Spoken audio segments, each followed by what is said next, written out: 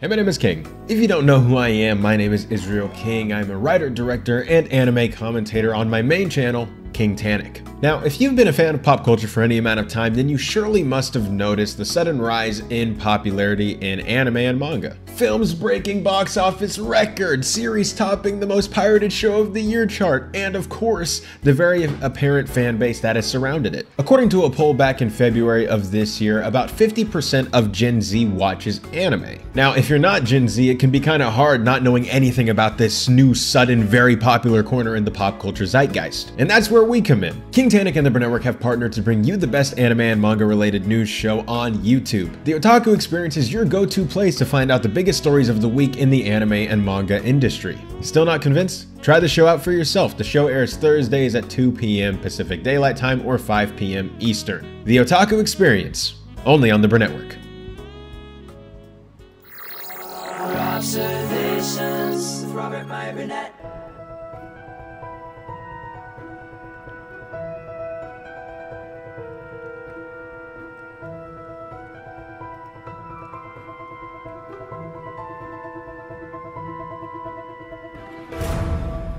Well, greetings, imagination connoisseurs. Once again, it is I, your Duke of Dope Discourse, your master of fun and wonder, your viceroy of verisimilitude, your sommelier of sci fi and cinema, your archbishop of Banterbury, your evangelist of the imagination, and the still as yet undefined existential Mr. Rogers. That's right, me, Robert Meyer Burnett. This is Robservations, episode number 865.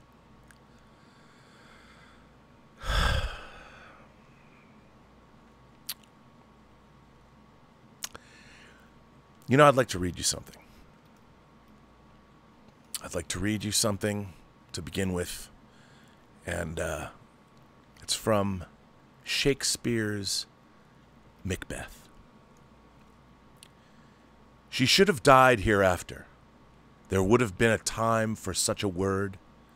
Tomorrow and tomorrow and tomorrow creeps in this petty pace from day to day to the last syllable of recorded time. And all our yesterdays have lighted fools the way to dusty death. Out, out, brief candle. Life's but a walking shadow, a poor player that struts and frets his hour upon the stage and then is heard no more. It is a tale told by an idiot, full of sound and fury, signifying nothing. Quite a passage to take the episode title of this week's Strange New Worlds episode from, right? And, you know, I'll tell you, I would have thought perhaps maybe how interesting that somebody cited this particular passage from Macbeth for the title of a Star Trek episode. Oh, if it hadn't already been done in the original series. The penultimate episode of Star Trek the original series from the 1968 69 episode, All Our Yesterdays, is also from this exact same passage of Macbeth. Which shouldn't be surprising because there is not one shred of originality in Strange New Worlds, down to the fucking episode titles. Which is saddening. And I kind of wonder now. This episode was written by a chap.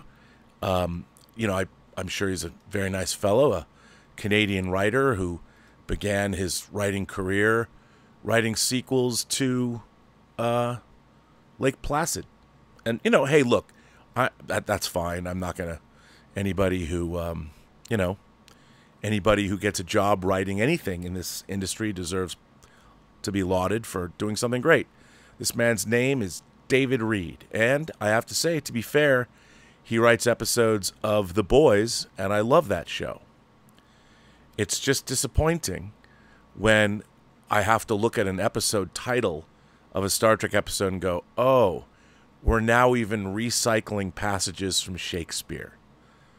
Isn't there a lot of Shakespeare, enough of Shakespeare that you didn't have to cite a passage already cited in the original series? But then you think to yourself, no. No, there's not. Because they are trying to, well, they're not trying to, they're, they are.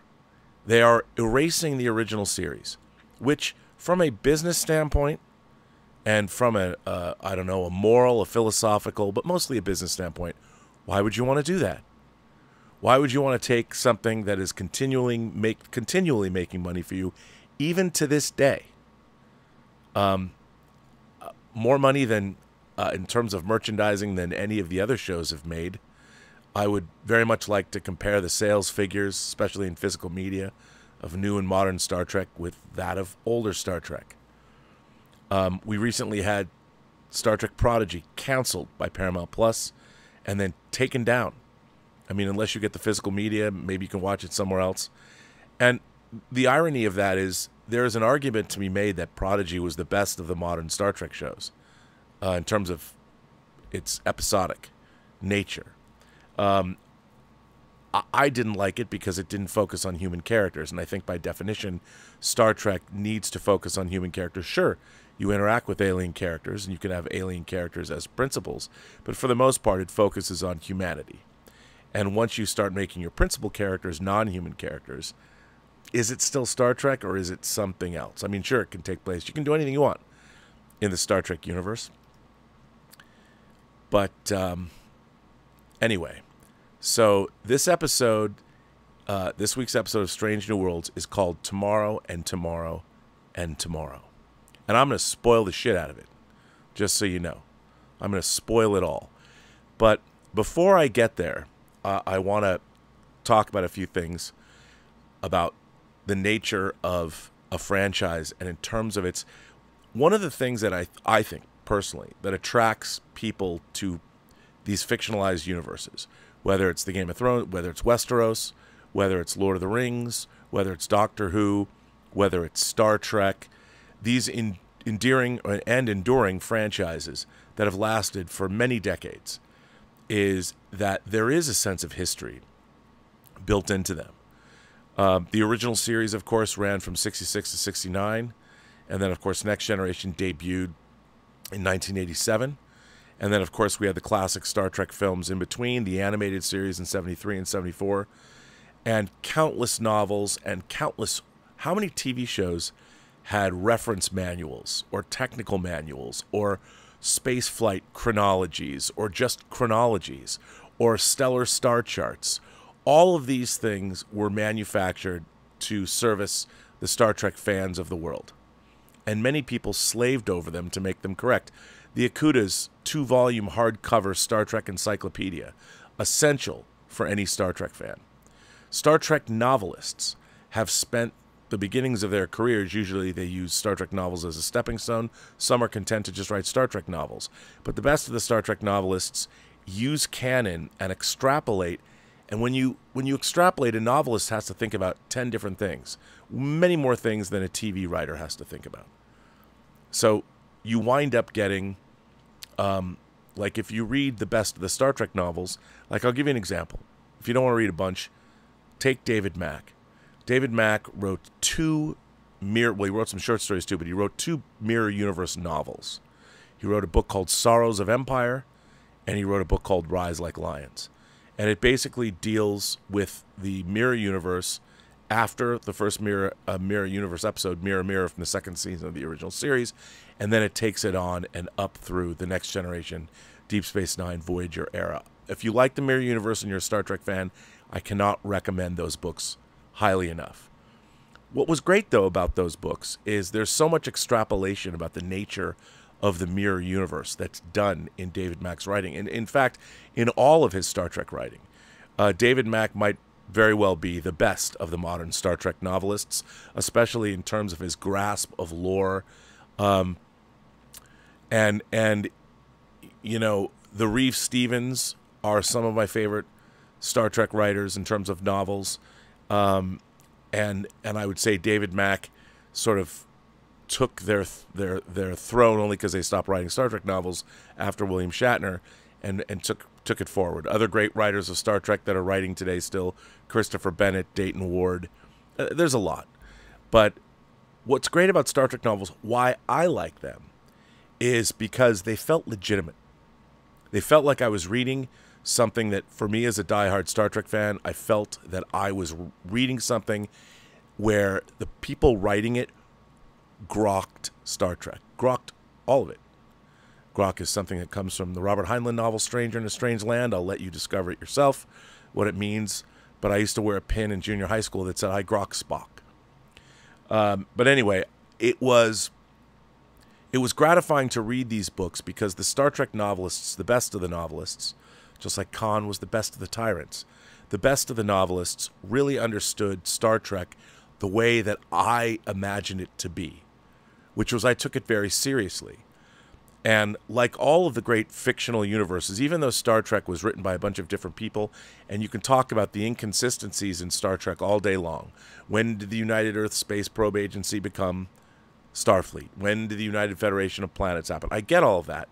But what's really interesting is when I was watching that at the time, I didn't bump on those things because you were learning about the universe. You weren't, none of that was established yet. So it's not like we talk about everything that's happening in our world at at the same time. You talk about what needs to come up in conversation. You know, I might talk about the local police force, and then I might talk about the FBI and the CIA, but I wouldn't necessarily talk about them all in the same all at the same time when I need to call the police. You know, so the more we learned about things in the Star Trek universe from episode to episode to episode, and they were finding their way. The original series, nobody, they weren't considering that would have the fan base it had they were just trying to write an episodic TV show. They were always under the gun. They always were not doing. They were not number one in the ratings, but they were trying to write the best show that they could, which is what every television show tries to do. But unlike every other TV show, when somebody makes a new TV show of Star Trek now, they have 57 years of lore and history to look back on. Now, there is this weird thing, and I've talked about it before, where I don't know where this came from. And even some of my favorite Star Trek novelists, like Greg Cox, some of the great comic book writers as well, that have worked on the franchise, have this idea that Star Trek is supposed to be our world. Our world now. Which I've never understood that because even as a kid, watching Star Trek, what Star Trek would come back in time to the present day 1966, 1967, like in Tomorrow is Yesterday I knew that the Starship Enterprise really didn't go back in time. I started watching Star Trek in syndication. So I understood that the Starship Enterprise, because it wasn't real, it didn't come back to our world, the world that I was watching Star Trek on television. And how did I know that Star Trek wasn't from our world? Because I was watching a TV show called Star Trek, which immediately made me, as a five year old, understand that, oh, while the Star Trek universe shares many similarities with our universe, it's not our universe. I knew that there was no orbiting nuclear platform that um, the Enterprise had to figure out well, how do we survive this era in the second season ending episode, the the last episode of the second season, uh, Assignment Earth, which was also a backdoor pilot, and of course, in in for a series that never happened all these writers are doing in, since 2009 is going back and and planting their flag on previously established Star Trek lore, which I wouldn't have a problem with if it's not done so ham-fistedly, haphazardly, hackneyed. None of it is any good. There has not been one change to the Star Trek universe since 2009, even though I know that took place in a blowing up the Romulan homeworld, which is supposed to be canonical. Why would you do that? Then blowing up Vulcan. I know it was an alternate universe, but why would you do that? Like, uh, why would you fundamentally change the Guardian? Here, here, there are things in Discovery. They decided to go back and reestablished Harlan Ellison's original script for City on the Edge of Forever that had been adapted into an IDW comic book and retcon the original show. Why? Why do the writers, first of all, feel the need or the right to do that? I, I, I, I honestly don't understand. And the thing was, if they had given me a Ron Moore, Battle, uh, David Eick, Battlestar Galactica reboot of Star Trek from the beginning, from scratch, I would have said, okay. Thing is, it still would have been awful because the writing across the board in Star, modern Star Trek, it defines hackneyed. They can't figure out what what story they're going to tell, and and this is no fault of the actors or the technical people, uh, the effects people. I don't like the style of effects in Strange New Worlds, but the actors I think are pretty good. The casts have all been pretty good. They're just given really shitty scripts that they have to say. Um, they try as hard as they can though. It's just and and this is you know I look at David Reed and I want to ask him. I want to sit him down and go, dude. You didn't just try and sequelize one episode of Star Trek. You tried to sequelize like 20 over multiple shows. And none of it makes a lick of sense, really. And I understand people I mean from a from a storytelling standpoint, you had a great idea. Well, first of all, let's talk about the character of La'an Noonien Singh, played by Christina Chong. I love Christina Chong's portrayal of La'an Noonien Singh. La'an is a great character, and she does a great job. She's beautiful. I think she's a great actress. She's playing the part as as if she's, um, I don't know, another alien to be dealt with. But but here's it, it, the conception of the character. She is supposed to be a descendant of Khan Noonien Singh. They make a big deal about it. And if she truly was a descendant of Khan Noonien Singh, she would be she would have genetically altered DNA. Um, how does she survive 300 years after the eugenics wars? Now, let me let me just share a little bit of uh, uh, a bit of some stuff here, so I can explain what it is that uh, I'm talking about. What are the eugenics wars?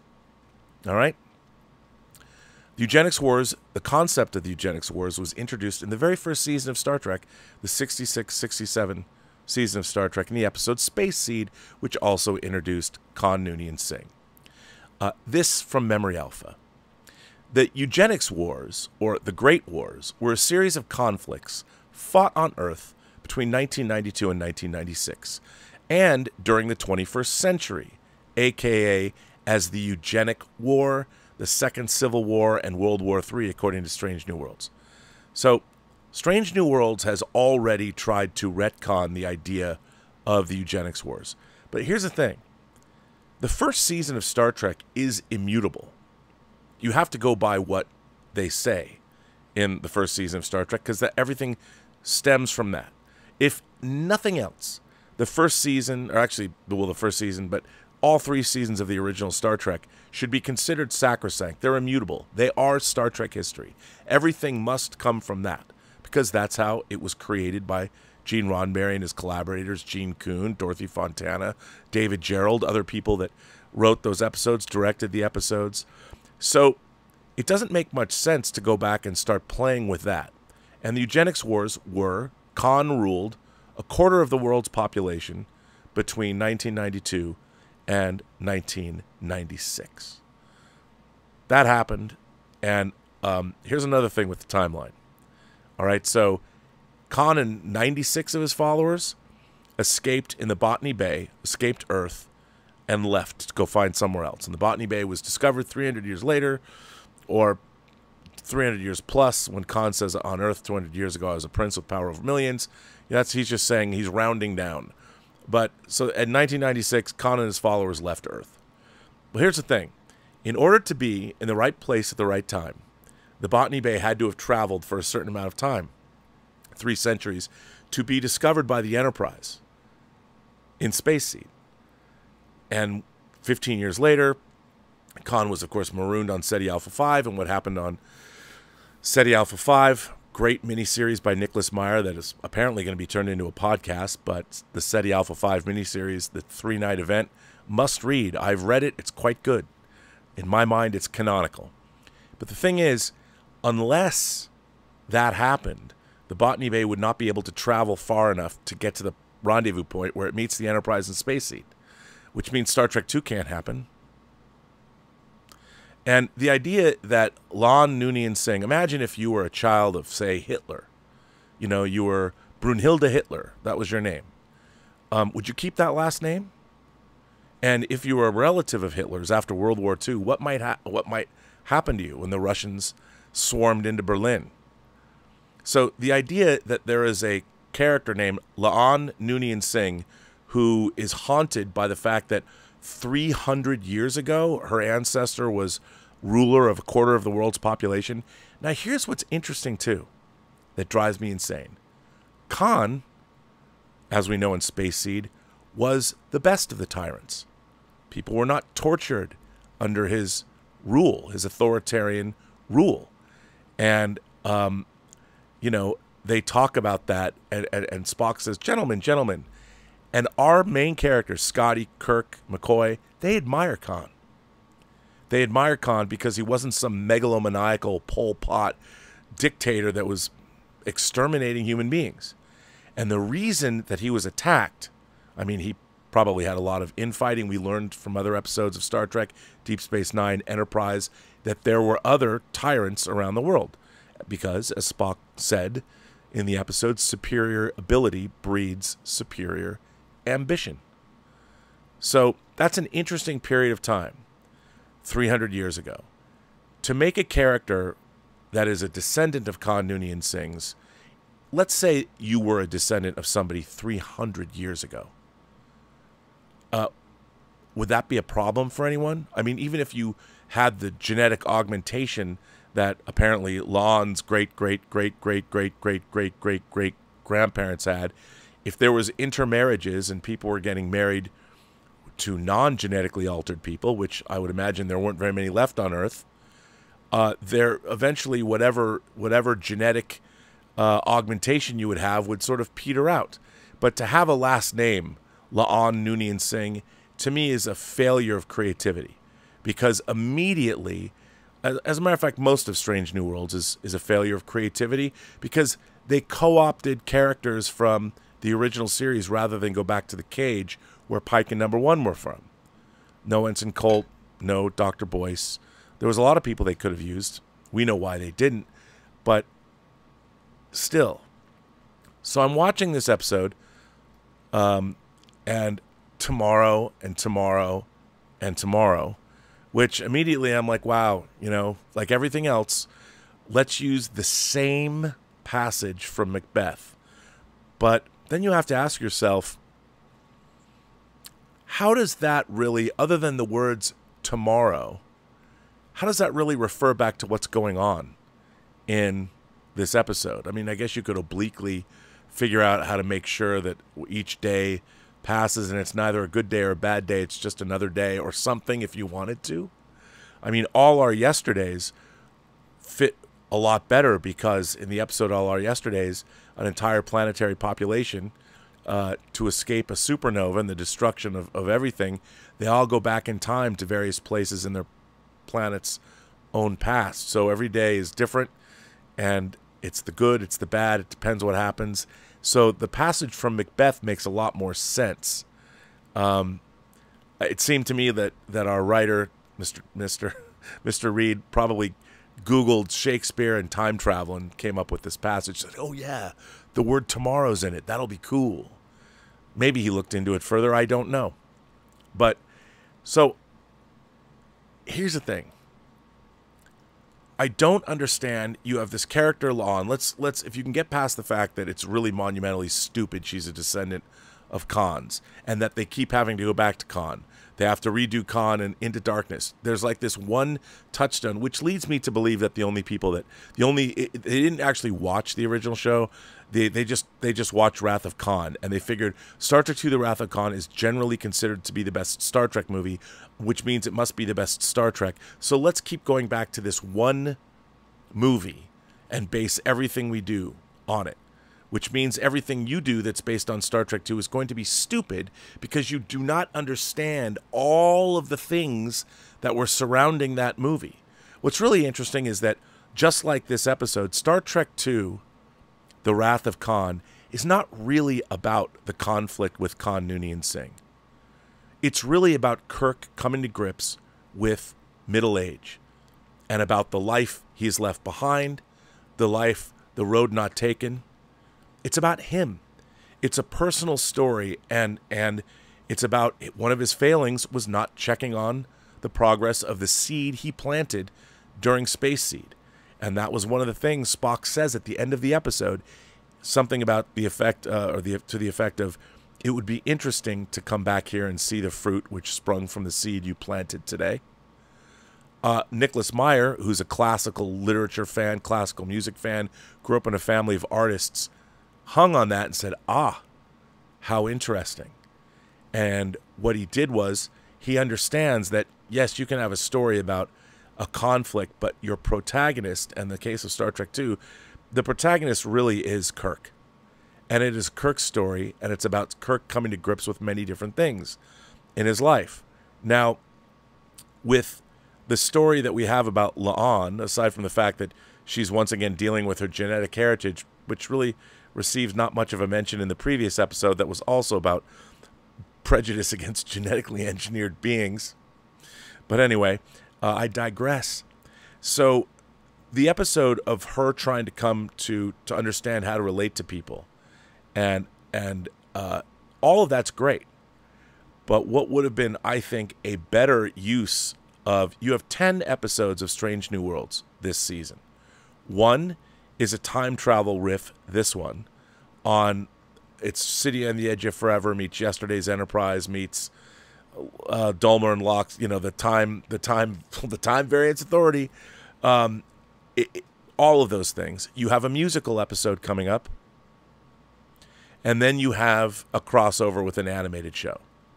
So I would say three of these these episodes are gimmick episodes. Spock turning gets to turn all human into in episode five, not next week but the week after, which is and meet his mother-in-law, which I would dare say is another gimmick episode.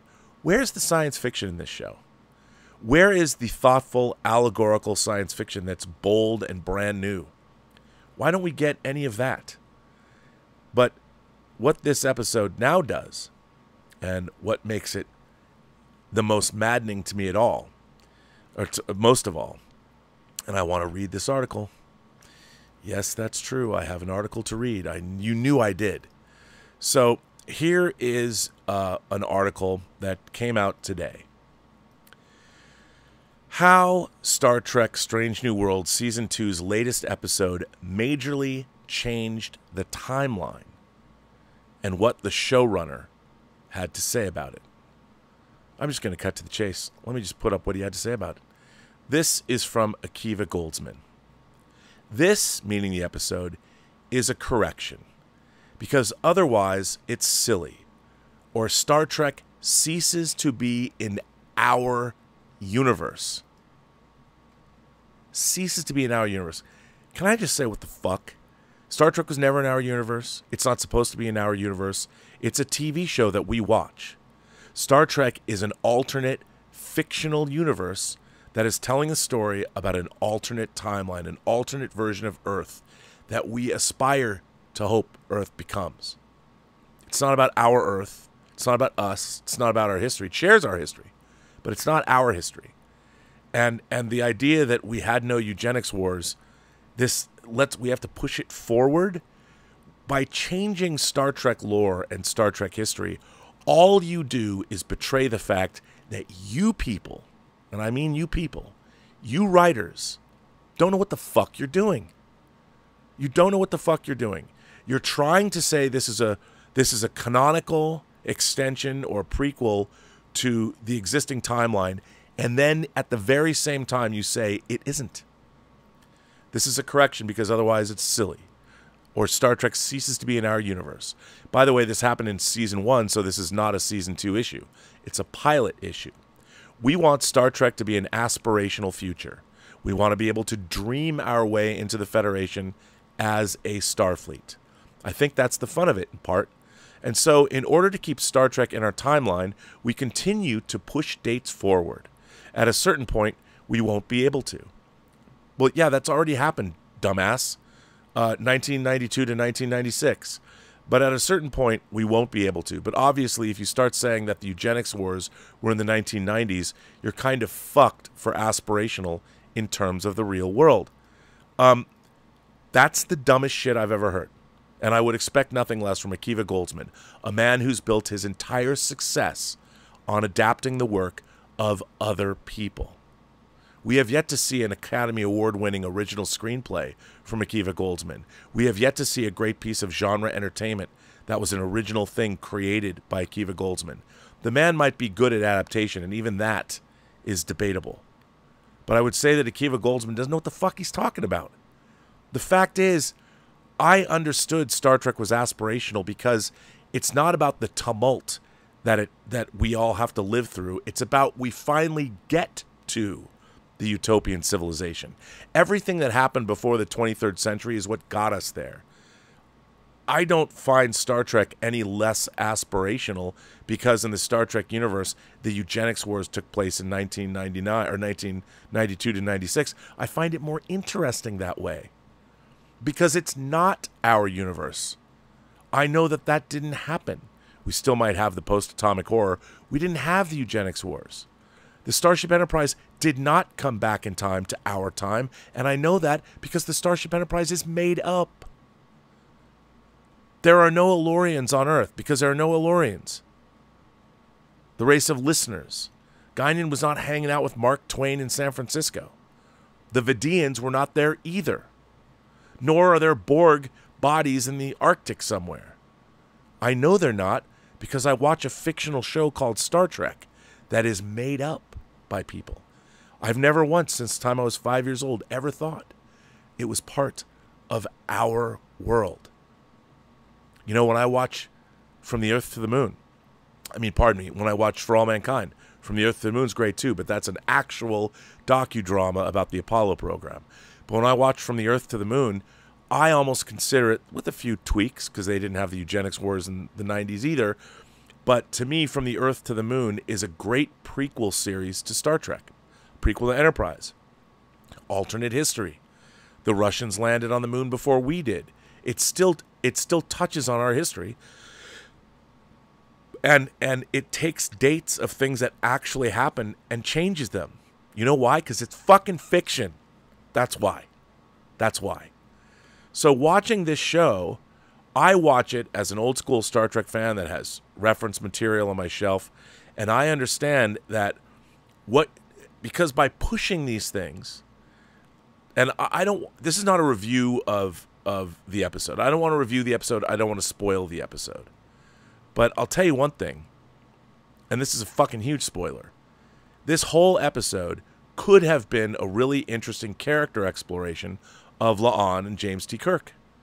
You know, if you want to do that, you want to explore their version of Kirk, which is, again, ridiculous. No offense to Paul Wesley, he can only do what he's been given. But, you know, this idea the one clever thing in this episode of Star Trek that I thought was interesting is that Kirk was hustling chess players in the park. I like that Stanley Kubrick was a chess player. We know that Kirk is a master chess player. How do we know? Because he checkmated Spock in the very first episode they were in together, the second pilot of Star Trek, where no man has gone before. We know Kirk's a great chess player. That was clever. However, we also know just at my joy of loving this, we also know that Kirk doesn't know how to fucking drive because we saw that in a piece of the action. You're an excellent starship commander, as Spock says, but, you know, his driving skills leave much to be desired. Except now uh, we have a Kirk that came from a devastated Earth that still knows how to drive a car. I don't know. You know, I'm, I'm looking at these things and I think, did anybody actually watch the original series? Not to Mr. Reed, the writer of this episode, I'm sure he's a fine man. Have you watched all 79 episodes of Star Trek? Like, did you do your homework? Did you do your homework? Because I kind of feel when I watch this show that you didn't. And I don't understand if you're writing 10 episodes of Star Trek, where are the meat and potatoes episodes?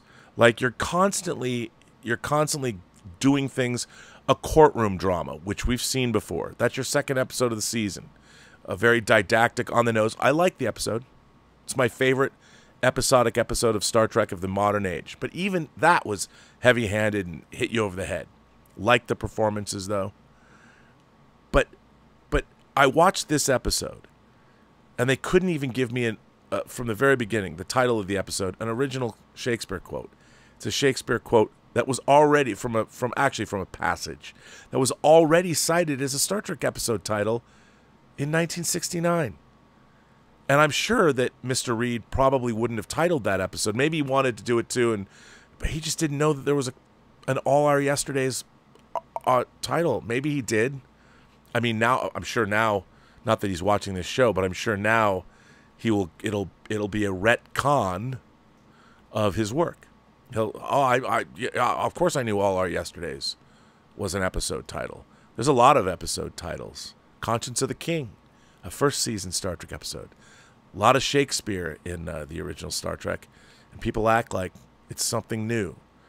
People think it's an uh, uh, uh the the uh, Shakespeare thing came from Picard. No, didn't come from Picard, but you know, whatever. Uh, it's just it's maddening to watch this, and I think you know you have to ask yourself. We, as genre fans that watch science fiction, fantasy, and horror that are that are watching franchises that are 57 years old. Um, what we want is greatness. We want television and we want entertainment that is smartly written that doesn't treat us like idiots. And I'll tell you something. If you're going to pull Shakespeare and you're going to you're going to quote Macbeth, actual not just from the, the play, but actually quote Macbeth, you better have a reason for doing it. It's not it can't just be window dressing. You know, there's got to be a reason and and I guess you could tie into things and say this is what this was supposed to be. But I I often feel that these episodes are written like if you were going to go in and and and and talk about Khan Noonien Singh, at least go to Memory Alpha and just look up the eugenics wars there's a lot of information there that you could use to incorporate into your show. And people like me wouldn't go on the internet and bitch about it. And I feel like they don't even do that. There's so much reference material about Star Trek. And I've heard the writers bitch and say sometimes your, you know, canon is very constricting. Well, if canon is constricting, then don't fucking refer back to it in your episode. Write an episode about La'an that's unique to your show. You know? And then even even Pelia has to be a character, and I like Carol Kane, but even she's on Earth too. I mean, I want to know if uh, how many aliens are on Earth in the 20th century or 21st century. How many people are just hanging out? H- how many? I-, I don't know. Do you have to have every single female alien? Oh yeah, she was on Earth. She's been on Earth for hundreds of years too. Okay, so you're stealing the qualities of Guinan. Why are you doing that? You can do anything you want. You can create every episode of Strange New Worlds should be new. You shouldn't have to refer. You've already stolen M'Benga, Nurse Chapel, and you've already stolen, of course, Uhura. Well, and Pike in number one. Um, so in in already absconding with people you didn't create, they're not your characters. Half your show is not they're not yours. Wouldn't you want to make sure that you're writing fiercely original scripts and stories that are reflective of today? And and why is it that let's go back to what Akiva Goldsman said. Let's go back to this quote. This is a correction because otherwise it's silly. Star Trek is silly? Your merch doesn't sell, buddy. You know, you you haven't created a 57-year-old TV show, Akiva Goldsman you adapted A Winter's Tale, one of my favorite books I've ever read, into one of the worst literary adaptations I've ever seen. Look good though, great cinematography. Um, how much did your cinematographer actually direct? Probably a lot, I would imagine. But I mean, come on, dude. All of your success is built on adapting the work of others. Don't you want to have something fiercely original? You get the reins of a Star Trek show where you get to make 10 episodes a season. The original series of Star Trek, I mean, you're looking at 30, almost 30 episodes. I mean, and it started out as they were making Western shows, you know, Mud's Women's, kind of a Western in space. But then they moved on and they told us some great, great, great stories. Where are these original stories? Why don't you do something where you don't refer back to previously existing Star Trek characters? Every single episode, you refer back to something. Now, now we're going to meet. You're to meet Spock's in-laws because I mean, I think it was pretty apparent that in the original series, Spock and T'Pring didn't have such a great relationship. But now, since you've made T'Pring uh, Spock's betrothed fuck buddy, you know, you you it, it, it just it's it's like, Do we have to? And do I have to sit there and feel like, does Paramount know? Does CBS know? Do the rights holders pay any attention about how you're literally going out and it's like J.J. Abrams saying, "Oh, I never liked Star Trek. It was too it was too cerebral for me. You know, my friends all we all like Star Wars, but Star Trek, I just I just couldn't get into it. Oh, okay, here's seventy five million dollars to direct a Star Trek movie. I mean, Kiva Goldsman's, I like going to conventions. Okay, well, you're right. You can't do anything original. You just have to steal everyone else's shit. Why? Why do you do that? Give me an original, give me a shred of originality. I mean, you're going to have a musical episode. Oh, yeah, because, you know, Buffy did it. Okay, everyone's got to have a, after the, after, uh, uh, once more with feeling, everyone's got to do a musical episode. Of course, you could say that Cop Rock did it first, but still, let's have let's have a musical Star Trek episode. Let's cross over with the animated series. Let's do that. So, of your 10 episodes, how many are left that you can tell a really shatteringly original science fiction story? Well, I'd say none because no one's qualified there to write a shatteringly original science fiction story, which is really too bad. But um, I, I, I don't know um, I don't know what to say about that. But um, what can you do? I don't know.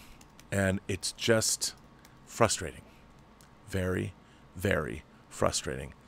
Um, I would like to read a. Uh, I'd like to read a Tumblr, um, a Tumblr article that uh, I wrote um, a long time ago about Star Trek, and I have to find it. I don't know if if I even can find it, um, but I'll try and find it. Boy, I, I, was looking up.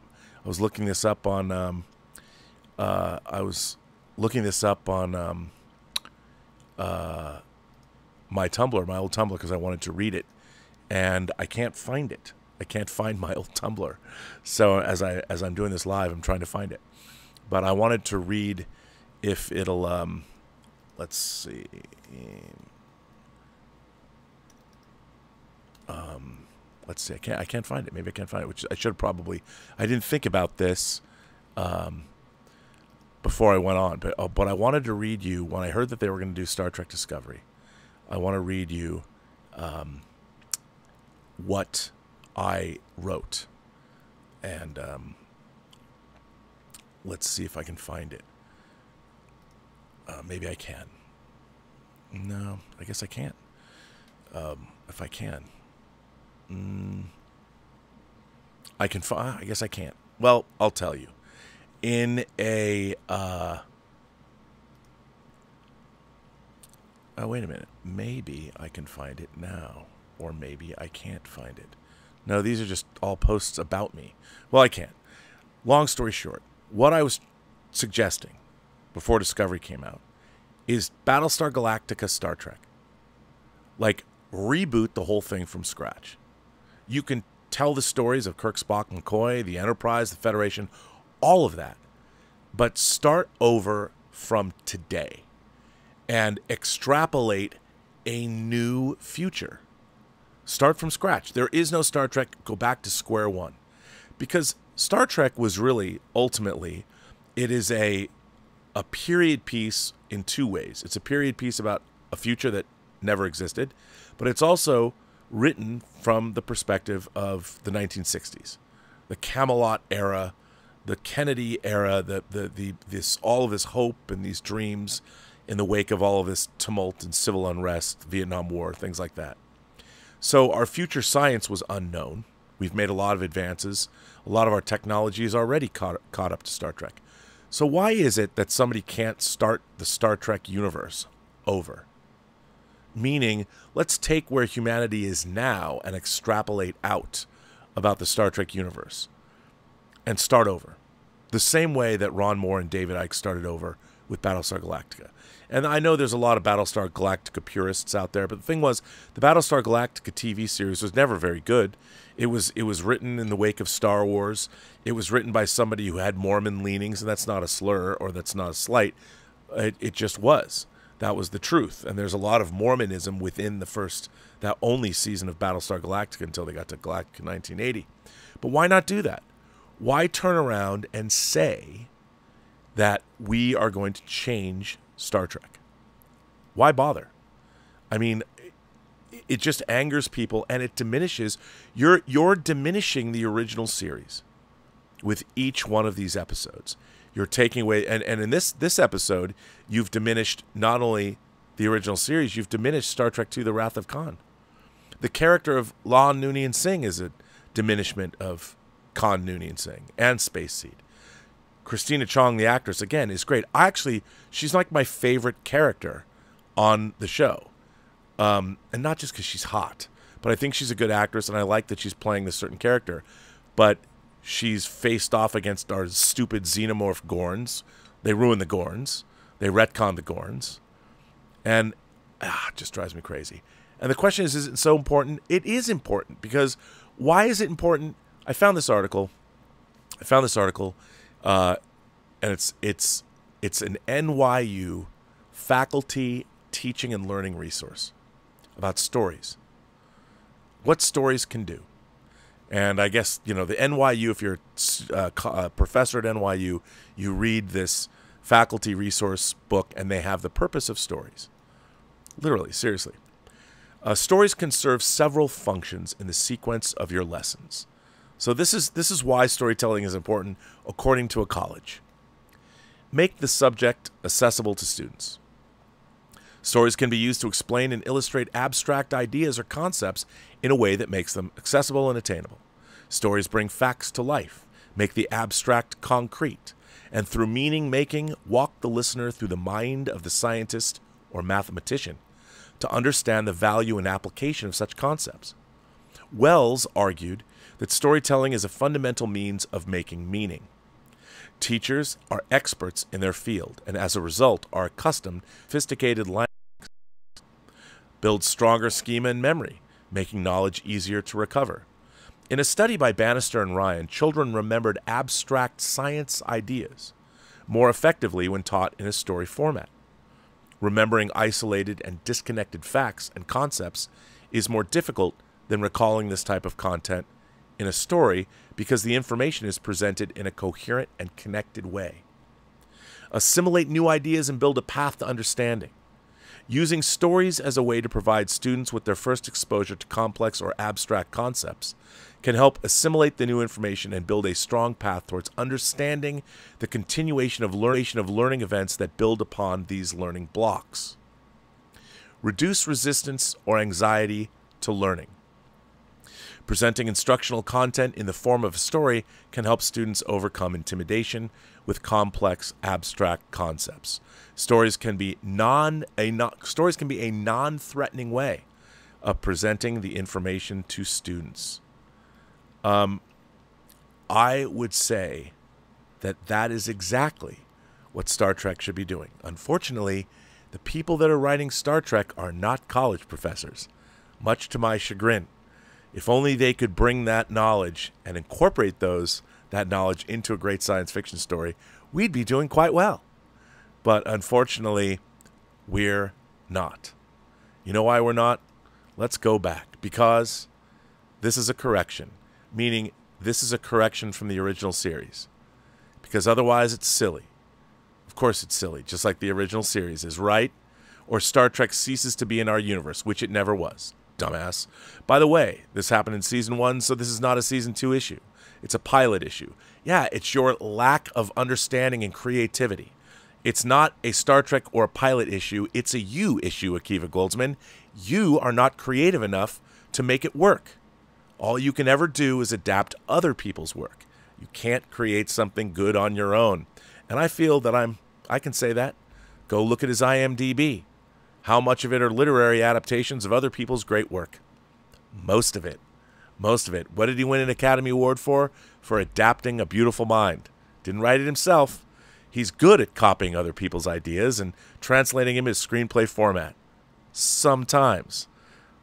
He also wrote the Lost in Space movie and Batman and Robin, lest we not forget. You know who never wrote Batman and Robin? Gene Roddenberry, Gene Coon, Dorothy Fontana, David Gerrold, Ron Moore. You know, Akiva Goldsman. You did. Ira Steven Behr didn't. Robert Hewitt Wolfe didn't. But you did. Batman and Robin. Forever. Um, but just should I read the NYU thing again? No, I don't have to. You get the point. I just I'm tired of watching my favorite franchise being abused. And I felt it has been abused since 2009 by people that think that they can do better. That's the problem. They think they can do better. Well, you know what? The only people that had Star Trek canceled after one season, and it's sad because it was Prodigy, which was actually pretty good, is Ak- Akiva Goldsman. Well, it's really Alex Kurtzman, but Secret Hideout. Congratulations, Secret Hideout. You're the only people that got a Star Trek series canceled after one season. Anyway, let's see what you all have to say uh, in this chat because I I grow weary. Uh, Sean Omomiya. Uh, Rob, it's simple. All of our beloved IP are gone because they're owned by a corporation. Think back to all the famous IPs that were made by individuals with a vision or a small group of people. I feel like we're losing true creativity. See, but the problem with Star Trek is it's been abandoned by its corporation that owns it. The, the corporation on a spreadsheet, they're like, oh, okay, Akiva Goldsman, he's won an Academy Award, he's adapted. Look at all these movies he's worked on. Or Alex Kurtzman. On paper, it looks to the corporation that they've made something good. I would I would say, gosh, these people that we hired to make Star Trek, they're the first people that had a Star Trek show canceled. Star Trek fans, our core audience, did not watch Star Trek Prodigy. Why? Because Star Trek Prodigy was the first Star Trek series that was directed at children. Why people thought that show had to get made? The irony is that it was a good show. But the thing is, kids don't fucking watch Star Trek anymore. You know why? I started watching the original series when I was five years old. If you're five years old and you watch Star Trek Discovery, what the fuck would you come back for? What is that show saying to you? Uh, other than the fact that uh, I have no connection to this, I'm bored by this, I'm not excited by this at all. I mean, the real question is you have to ask yourself why isn't Star Trek in the top echelon of TV? Picard season three got up there, but why isn't Star Trek? Because it's not good. It doesn't connect with its audience. And that's not to say if you like it, it's not connecting with you, but it's not collecting en masse. It's not a water cooler show. So, but Sean, I take your point. Um, uh, Eloy Diaz has been a member for nine months. Thanks, Eloy. I like that uh, reference to the time machine. Paul in Long Beach. Um, Paul in Long Beach says, just a reminder, my friend, Robservations episode one was on August 1st, 2018. We're almost five years. Time to start planning a good party. Oh, I didn't know that. Half a decade, August first. But you know what? That that was a different. That was when I did my documentary show with that. I was uh, edited together. It's pretty cool, by the way. Uh, NKS 432 says, Rob, I'm so tired of creatives ruining franchises because they don't understand the source materials. Here and Rings of Power and a certain KK. Well, it is getting tiresome. I mean, uh, to be honest, it's it's it's really getting tiresome watching these franchises get ruined because they're not that hard to figure out. That's that's the frustrating part. It's frustrating when I have hundreds of books, Star Trek novels. There's Star Trek novel series that they could adapt. The Vanguard series that David Mack wrote on. Peter David wrote a great New Frontiers series about Captain Mackenzie Calhoun, which is a great name for a captain, and uh, great series.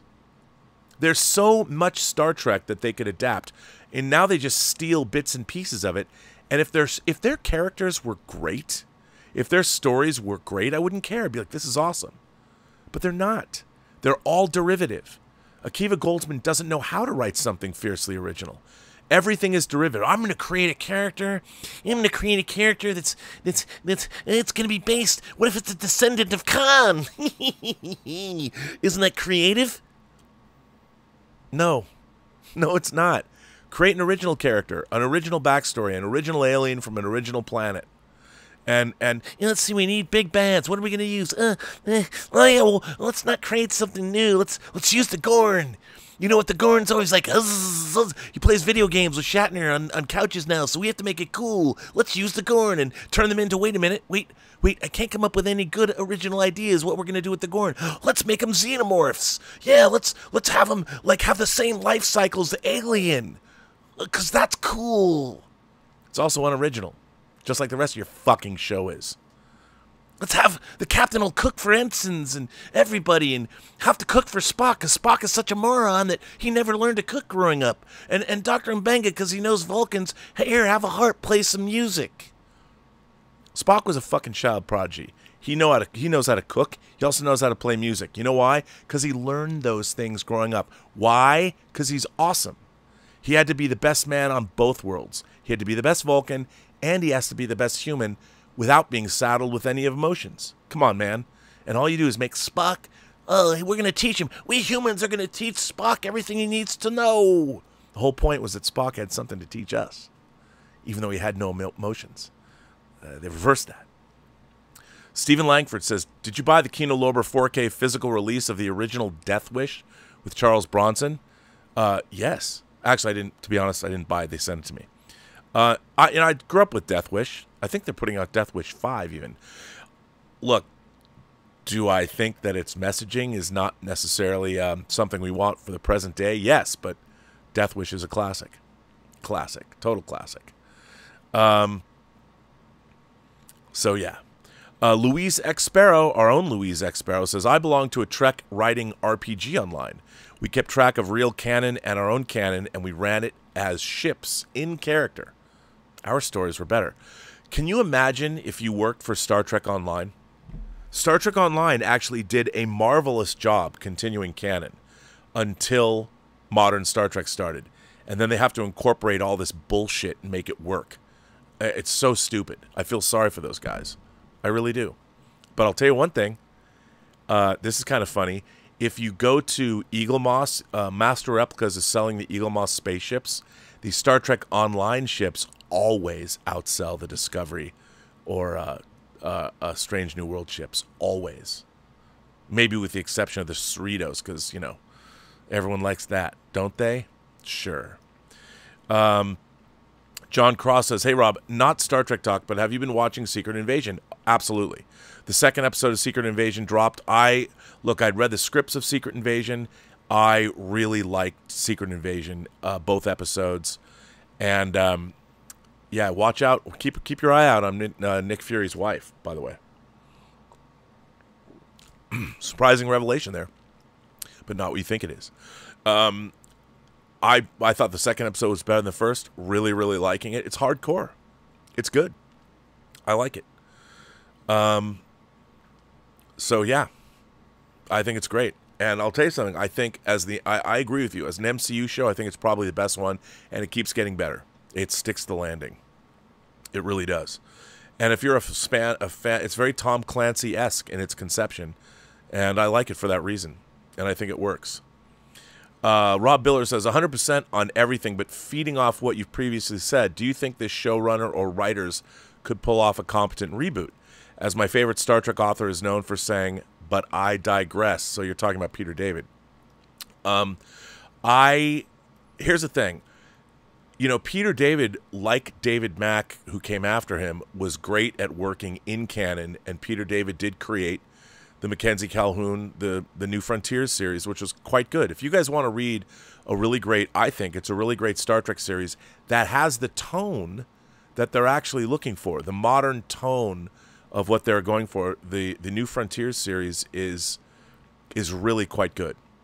And and it's right there. I mean, that's the frustrating thing. It's right there. And by the way, they don't even fucking know that exists. I mean, I would have taken that series, that book series, and pitched it, and somebody would have said, Well, it already belongs to Peter David, so, you know, we can't use it. or they would have said, "We already own it, so we can pay. We don't have to pay him shit." But I'll tell you, if they went and and New Frontiers would have been a great Star Trek New Frontiers. There's your title right there. I mean, it, Strange New Worlds again. They can't do anything original. You know, to seek out Strange New Worlds, they can't do that. Um, just like the title of this week's episode comes from the same passage of Macbeth that all our yesterdays came from as a title. Yeah.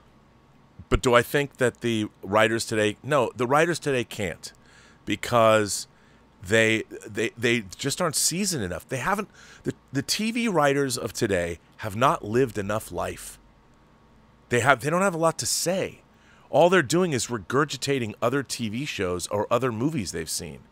There's no literary concepts. I mean, that's what's so frustrating. I, I would love it if somebody actually it's it's very apparent the original Star Trek series had actual science fiction writers.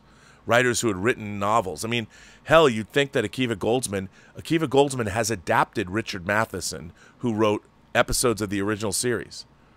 He wrote I Am Legend that Akiva Goldsman adapted for the Will Smith movie. Uh, dare I say, uh, maybe badly, even though I kind of like that movie. Francis Lawrence, I thought was an interesting. He did a good job. Um, Alexander Wilson says, "Have you finished The Bear yet?" I have not. I haven't watched any, hardly any TV at all, except Black Mirror. So I'll tell you that uh, right away. So you know, um, it's it's not to belabor these points, but I think all of our franchises have a fundamental problem, and I don't necessarily think it's the corporations that own them. Uh, I think that was part of the reason with Star Wars. I think that I'm a Kathleen Kennedy supporter. I think Kathleen Kennedy was hampered by what Disney expected from Star Wars. I mean, I, I honestly, and it, it, it, you know, she tried to do things like Lord Miller directing Solo. That was a really interesting choice. You know, it really was. Um, it didn't work out, but you know, this Dial of Destiny, everyone's like, oh, it might be the final nail in the Kathleen Kennedy coffin. Well, it's kind of sad because everybody, I love James Mangold. Kathleen Kennedy, I grew up with movies she produced. I mean, this is her 41st year as a producer. And um, she's, she's, and her husband, Frank Marshall. Frank Marshall was in, of course, Raiders and has a big connection to that film, worked on it uh, I, I, don't. It gives me no pleasure to see these franchises regurgitated over and over and over and over and over again, especially by people. You're not going to not take the job. You're going to take the job, but unfortunately, it's it's maddening to watch a science fiction show have no science fiction in it, other than time travel and it's look. Here's the thing about time travel, and and uh, uh, again, I feel like here's here's if I were if I was teaching a college course on time travel. Here's here's what I would say. I'd say, class, why are we fascinated by time travel stories? What is it about them? Well, all time travel stories, the reason the time travel stories appeal to us is because we, all of us, wish that at some point in our lives we could go back in time and change a choice that we've made. That's why people love time travel stories. Because we're living vicariously through characters. They've gone back in time. And sometimes, like as in Back to the Future, uh, going back in time was sort of an accident or, or something. If you get thrown back in time and it's accidental, then something happens to you back there where you, you have to preserve your own existence. The grandfather paradox. But if you intentionally travel through time, like for instance, let's take a Star Trek example one of the great time travel stories of all time. Dr. McCoy has a cortisone injection and inadvertently, because he's out of his mind, jumps through the Guardian of Forever and changes the past, which means the Federation doesn't exist. The entire history that allowed the Federation and Kirk to exist and everybody to exist is gone. So the rest of the landing party is now forced to go back in time and reset. Not not it's not a multiverse. They have to reset their own existence. And as Kirk says, everybody, if they don't come back, everybody has to go through and try. So what's very interesting is by going back in time trying to find Dr. McCoy, that, that's a story unto itself. But what, what makes the story even more interesting is that something happens, and this is what makes time travel stories interesting too. Something happens when you go back in time to you as a main character that you're not expecting. And in this case, what they aren't expecting is for Kirk to fall in love. And Kirk falls in love, ironically, which is what makes it a great time travel story. He falls in love with the very person that is the focal point in time that they were looking for. And inadvertently, McCoy going back in time stopped Edith Keeler from dying, and she was allowed to grow and become a peacenik and a and an activist and, and basically stopped America's entry into World War II, changing all of human history. But that's the focal point in time, and Kirk falls in love with her, and Kirk has to let her die in order to preserve the timeline. That's a genius science fiction story, set up and payoff in 52 minutes, in and out. Good night, Irene. Fantastic. A time travel story has to be personal to the character in order for it to be good. The problem with Tomorrow and Tomorrow and Tomorrow is that it's all made up gobbledygook. A time traveling agent shows up and gives La'an a thing and tells her to go back here. And when you get into the past, a bridge is blowing up. Oh, we don't know. Oh, there's aliens on Earth. And uh oh, we didn't know that. And there's apparently Toronto's a hotbed of genetic engineering and cold fusion. Who knew that? Uh, and, and there, so when you're watching this episode, you're asking yourself, what is this episode about? And and the episode is constantly throwing stuff at you because it's not focused.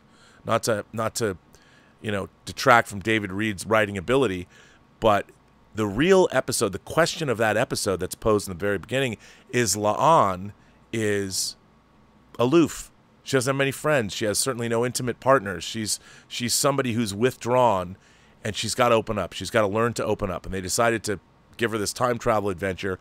But the thing is, none of it none of what was going on was personal to her until this third act twist. So it's a bad time travel story. And I'll tell you why it's a bad time travel story. It's a bad Star Trek story. Because it So what they want to do is of course they don't th- there is a misconception that Kirk is the, like every episode of Star Trek he slept with some chick. You know, he's a he was a bone daddy. And the thing is that's not true. If you look at the women that Kirk was involved with, especially women from his past, for the most part, they they were either tentacled aliens from Andromeda that took the form of human beings. They were uh, very sophisticated androids that were devastatingly intelligent. They were lawyers. They were they were women of of Ruth, who's in Shore Leave, incredibly elegant. I mean, whenever you saw the women from Kirk's past, uh, they weren't like some trashy lady that they he picked up leaning against a jukebox at two o'clock in the morning when the bar was closing. I mean, Kirk was a man of exceptional taste, and and you know they even play off a scene where La'an. I mean, and I'm sure they did this on purpose. There's a scene where La'an could have hooked up with Kirk, but they play it like she walks into his room, looks over, understands they're in a situation where they might die or be wiped from existence, and they could have found comfort in one another's arms. Nope, not in our Star Trek show. We're not going to have Kirk sleep with one of our main characters. What kind of show is this? Who is this for? I don't know. Anyway, um, Tom Jr. Jackson says, "Hey, I'm showing support." Um, yeah. Um, Greggy Gilgan says, "Since you mentioned indie, I saw it and I really enjoyed it. Many positive comments online from others seeing it too. I feel you might enjoy it also." Well, I think uh, it's not surprising to me that people like it because nothing, even the people that talk about their the things they don't like about it, I'm like, that doesn't sound like I wouldn't like it. I, I I mean, it's an Indiana Jones movie. I mean, I'm a guy. I didn't like Last Crusade very much. So what does that say about me? Probably a lot of people like, what? It's the best indie movie. That's like saying Return of the Jedi is the best Star Wars movie. A lot of people say it. It just isn't true. It's it, it's when you saw it, which I understand. So uh, Michael Nemo says, I just had someone online tell me that City on the Edge of Forever is the height of misogyny as the woman has to die for all men to live. See, this is the problem with the modern age. That that and this is why so many writing so much writing today is terrible because people are looking at stories through their own activism. Somebody who says that that's all performance uh, a performative active, uh, activism. Uh, they're looking at like that way. No, the the the what what they're doing is a man in love. First of all, our our main characters, Kirk, Spock, and McCoy in the original Star Trek, are men. They are men that are going back in time and they're meeting a woman. If you look at her, she is a smart, devastatingly intelligent woman that sees a future that might not come to pass, but she believes in it. A future of nuclear power, a future of uh, humanity amongst the stars, and she's out there uh, uh, helping the poor and the downtrodden, the people that drink from the wrong bottle.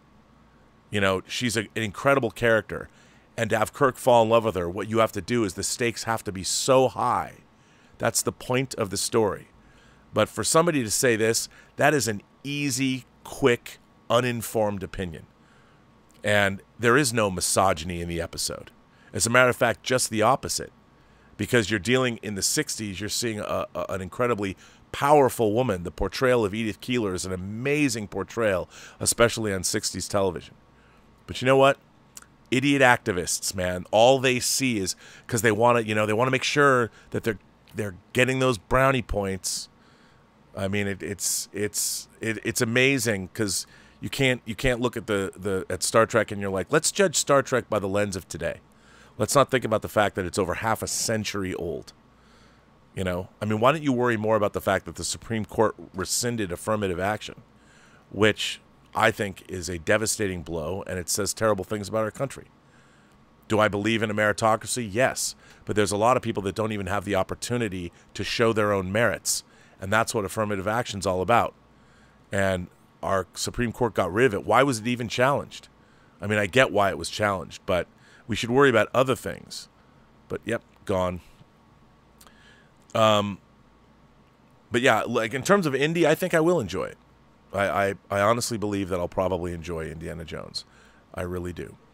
Uh, Jeff Yerke and Mrs. Y. Uh, Mrs. Yerke and Mr. Yerke are here. Hi, Rob. Long time no speak. We are working our way through every single Kurosawa film on Criterion. Uh, you must have that DVD collection. I wish they would put it out on Blu-ray or CD. Also, I am so done with Star Trek. I know I keep saying that, but you know, like me, you have to watch it. By the way, I I flaked at not getting back to you. I've been so busy at doing all these other things and finishing up this movie, a movie called The White Devils. I'm sure people will love that. I have not been doing as much as I should to start this panel show. But um, yeah, I I again time travel. You can't even tell a, a focused, interesting time travel story.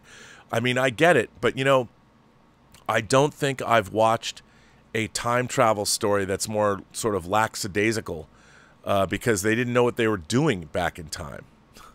I will say this too. You know, it was one of the more interesting ideas, and of course, the Orville did this better this season. And wasn't there an Orville episode called Tomorrow and Tomorrow and Tomorrow? And I'm sure it was called that because Seth MacFarlane knew that All Our Yesterdays was a Star Trek title. So he did Tomorrow, Tomorrow, and Tomorrow. I think. I don't know. I can't remember. But um, there's an episode of the Orville from the third season where they have a really interesting time travel conundrum. And I don't want to ruin it for anybody because it's really an interesting show. And they kind of touched on it, and I thought it would be really interesting. So there's an alternate universe that's created. That's why La'an is on the Enterprise commanded by Kirk. And there is they don't do much with this, but the idea that whose alternate universe gets to survive? Who's to say, like, if I had made the show, if they were really clever, if they were really clever in this episode, it would have been La'an Noonien Singh that was erased from existence, and they go back, and the Enterprise was now under the command of Kirk, not under the command of Pike. The Gorns were back being a proud spacefaring race. They're not just ripoffs of xenomorphs, and they would have turned the show into the original Star Trek, which is what they're trying to do anyway. But it would have been horrible moving forward, and I might have liked it momentarily, but it would have been terrible in the long run. So it's probably best they didn't do that. Uh, and on that note, I'm going to end this show. But I want you to all watch this. I encourage you to watch Strange New Worlds. There's a lot of people that really liked it, and I understand where they're where they're coming from. But you know, read Donna Tartt's The Secret History. It's not even a science fiction novel. Just read it because it's a great book. But I, I would I would I would implore people, you know, go out and find some classic science fiction and read. You guys want to read a really interesting, fun time travel book that the time travel's done in an interesting way. Here, here, here's a Rob's book club for you. Go find Ken Grimwood's book Replay and read it. I guarantee you it'll be one of the most memorable time time travel stories you'll ever read. If you read Ken Grimwood's book Replay, if you don't know the book, and by the way, don't even read what it's about. Don't go look it up on Wikipedia. Just listen to your Uncle Bob here, Uncle Robbie, Uncle RMB. Go get Ken Grimwood's book Replay and just fucking read it. And and don't read anything about it. Don't read the back of the book. Don't read shit about this book. Just go read it and I'll tell you what. Give me 20 pages. Read 20 pages of that book. If you're not invested in 20 pages, write me back and go, "Hey, Rob, not going to listen to your book club recommendations anymore. I'm telling you, go get Ken Grimwood's book Replay and read it. It's really good and it's very thought provoking. And um, I guarantee you'll like it. Zachary Zabali says on Red Letter Media whether Rich Evans believes Short Round was the planned getaway driver in Temple of Doom. Mike Stoklas, I, I love Mike, who is a huge Temple of Doom fan, said Short Round was just there by chance. Um, well, I, I would say he was not there by chance because he had the block.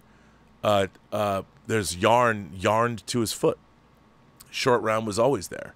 Why was short round always there? Because nobody would suspect him because he was a kid, so he was inconspicuous. So obviously, Indiana Jones needed him to make a quick getaway. So short round was the person that was least because they knew he was coming. You know, Lao Che knew he was coming, knew he was going to bring Nurhachi.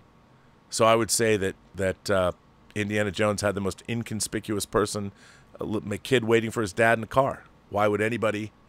Um, why would anybody uh, uh, be suspecting him? I don't think that they would. So, I, I, I, short round was the planned getaway driver. I think so. Star Trek Late Night says I went on a 30 minute rant back and forth about what timeline we're actually in here. I'm lost. What the fuck is Akiva doing? They need to hire some new people to write this crap. Terry, where are you? Well, here's the thing. I I just think that Akiva doesn't really think through a lot of what he writes. There's not a lot of connective tissue in any of this. You know, you read it and you ask yourself, what what is going on here? And here's the thing. When you're writing science fiction and you you ask yourself, okay, if A is true and B is true and C is true, then D, E, and F must also be true. The problem is, I feel like when I'm watching modern Star Trek, they don't think about D, E, and F. And I'll, a perfect example of that, and I use this all the time, in Star Trek 09, the villain Nero, who has Borg technology on his mining ship, if you read the comic book prequel, uh, Countdown, you have a character that is mad about the destruction of his homeworld. He ends up back in time a hundred years, which rather than running through Captain Robau, he could have just asked him and figured this stuff out. And knowing that he's gone back in time a hundred years, rather than be mad, he could literally go to his own Romulan homeworld and warn his own planet that a hundred years hence the Hobus star is going to go nova and destroy the destroy Romulus. He doesn't do that.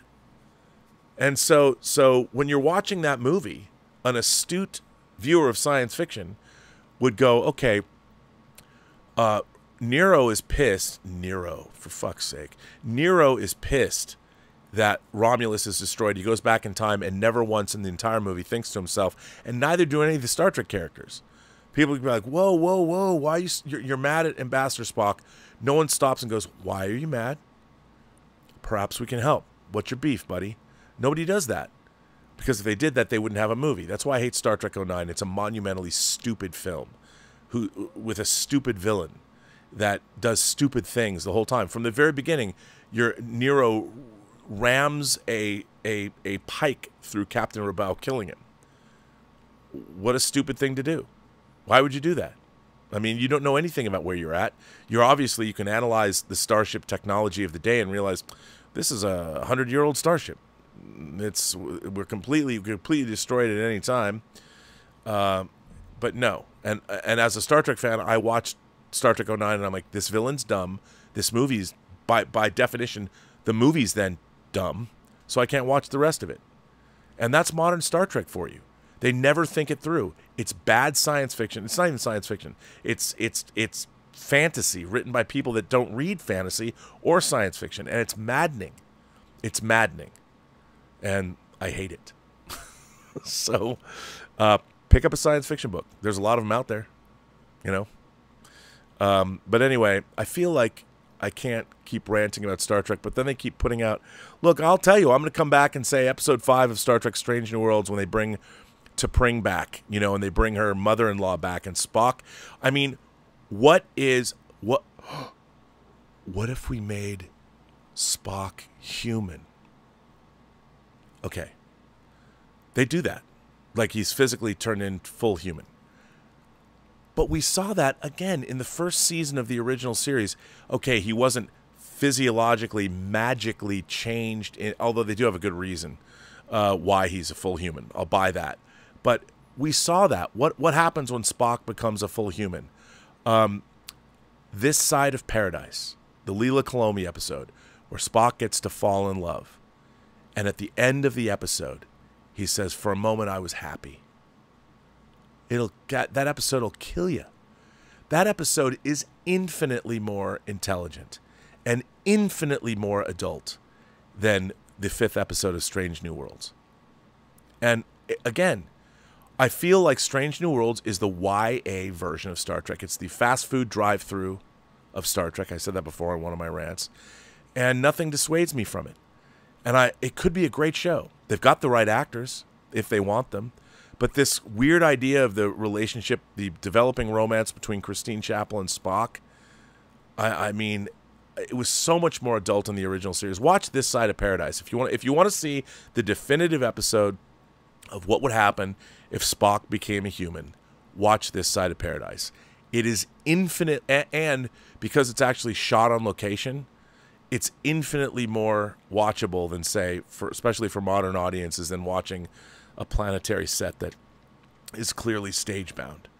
Watch that episode. Do, do again another another exercise. Watch the Paradise Syndrome, or pardon me, that's third season. Watch this side of Paradise, and then go back and watch, or go and watch the fifth episode where Spock gets to meet his fucking mother-in-law, and what goes on in that episode, and why do they have to make all the why why are all the the Vulcans just like dicks?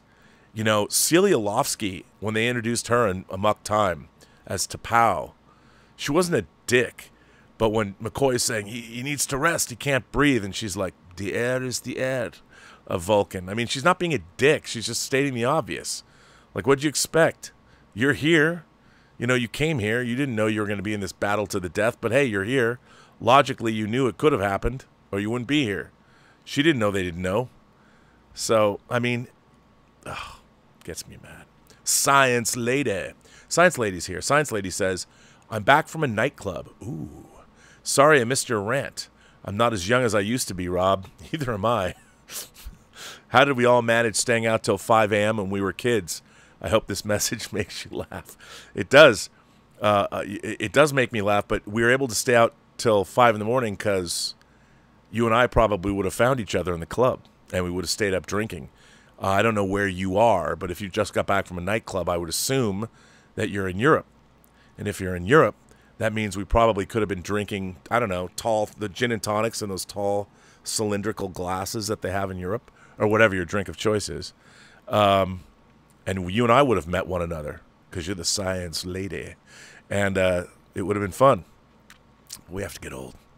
We're not that old. I can still stay up five till five in the morning. Um, anyway, I don't know what else to say. Um, but other than that, I think I'm going to end this stream. It's just what I want. I just, oh, I'm so tired of thinking about this. You know, I feel like I need to go to therapy or something. I need, I need Star Trek therapy. Maybe, maybe, maybe it's just enough to talk to you guys. But it gets to the point where I, I get so angry. I, I never thought, I never thought I'd want to go see an Indiana Jones movie because I think it would take my mind off how much Star Trek pisses me off. But here we are. So, on that note, I want to thank my moderating staff. I want to thank Justin Toner, who's here. I want to thank Louise uh, Louise X Sparrow. I want to thank Tom Jr. Jackson, and I want to thank all of you for generously supporting the channel via super chats and tips and all of that. And um, yeah, I want to thank you. And gosh, what else can I say other than, ah, uh, uh, just when I thought I was out, they pull me back in. Actually, they pulled me back in because I've seen uh, uh, up through episode six. So there's only four more episodes of season I haven't seen. One's a musical and one's a crossover with an animated show, which also involves time travel. Great, great. Where's the meat? Where's the taste of Armageddon? Where's the meat and potatoes episodes of Star Trek? Brand new science fiction concepts that were. Ri- Where's the meta fucking morphosis? Scott Mantz's favorite episode. Where's Metamorphosis? Where's their version of? Well, no, don't. I can't even say that. I don't want their version of the Doomsday Machine or the Immunity Syndrome or Operation Annihilate. I want something new. Tell me a new allegorical story that has some insight into the human condition for me. You know, I mean, really, I'm tired of watching shows, Star Trek shows about characters. I don't feel I really belong. I mean, how many? Why is it? I mean, at, at the end of this episode, the, at the end of the day, it's all about La'an trying to feel better about herself. What, what the fuck is she in Starfleet for? Why do all these characters? I mean, let's see characters that are really good at their jobs, that really know what they're doing, get involved in adventures where the crux of it isn't them feeling bad about themselves.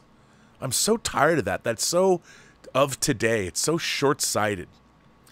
But anyway, on that note, I'm going to go.